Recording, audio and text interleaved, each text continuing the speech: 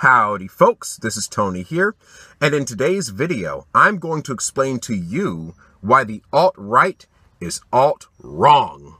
Now, the alt-right is a political movement that has gotten uh, national attention in the last few years, and the basic belief of the alt-right is that our nation was founded by and for white men, and that if you are not a white man, you are a second class citizen.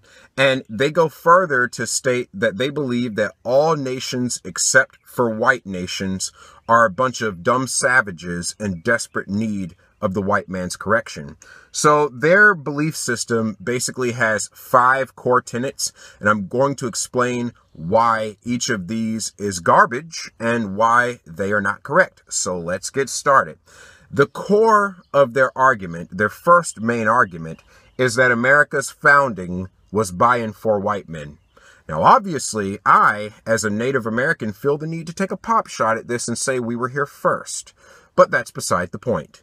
If you actually do your research and look at your history, you will find that America was not founded by white men, it was founded by Englishmen. There is a difference. Because back in those days, the Irish, though their skin was white, they did not have a place at the table. A lot of them were kept as indentured servants, some even as slaves.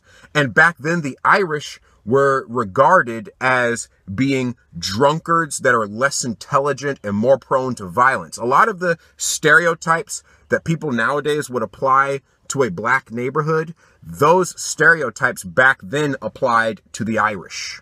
So this idea that anybody that's any kind of white is part of America's founding is false. The Italians did not have a place at the table, nor did the Greeks.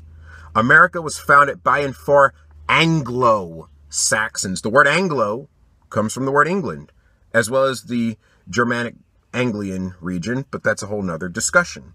But the point is, if you really are to be consistent with your alt-right logic, then if you have a drop of anything in your blood that is other than British, then you should consider yourself a second place citizen. Because back in those days, they did not have this unified idea of whiteness. People defined themselves by what family they came from and what nation they came from. The Greek saw himself as something other than the Italian. The Italian saw himself as something other than the Irishman. They did not come all together and say, oh, we're white.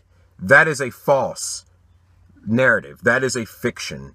In fact, if you look at some of the legislation passed, like the National Firearms Act, wasn't that designed as discriminatory against Italian immigrants because the Italians were stereotyped as violent immigrant invaders of our land? A stereotype that in today's world applies to people of Hispanic origin? So you need to get your facts straight and really understand that this whole idea of whiteness is actually false. They were defined by their nations, not their skin color.